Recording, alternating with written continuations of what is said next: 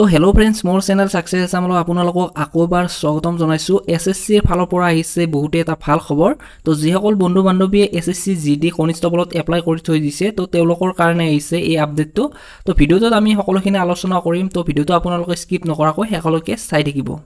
তো এইটো হৈছে এছ এছ চিৰ অফিচিয়েল ৱেবছাইট তো আপোনালোকে ইয়াতে দেখা পাইছে লেটেষ্ট নিউজত তো ইয়াতে আপোনালোকৰ সাত ছেপ্টেম্বৰ দুহেজাৰ একৈছ মানে আজি আহিছে এই নটিছখন ইম্পৰ্টেণ্ট নটিছ তো ইয়াতে আপোনালোকে ক্লিক কৰি দিব। তো ক্লিক কৰি দিয়াৰ লগে লগে আপোনালোকৰ তাতে এই ইম্পৰ্টেণ্ট নটিছখন ডাউনলোড হৈ যাব। আৰু এই নটিছখন আহিছে আপোনালোকৰ এক্সাম স্কিল টেষ্টৰ কাৰণে। তো আপোনালোকৰ নৱেম্বৰ ডিচেম্বৰত আপোনালোকৰ এই এক্সাম স্কিল টেষ্টসমূহ অনুষ্ঠিত হ'ব। তো ইয়াতে আপোনালোকৰ যিটো চি এইচ এছ এলৰ যিটো আপোনালোকৰ স্কিল টেষ্ট তো সেইটো আপোনালোকৰ নৱেম্বৰৰ তিনি তাৰিখে অনুষ্ঠিত হ'ব। আৰু চাব ইনস্পেক্টৰ ডেইলী পুলিচৰ যিটো পেপাৰ টুৰ এক্সাম তো সেইটো আপোনালোকৰ আঠ নৱেম্বৰত অনুষ্ঠিত হ'ব।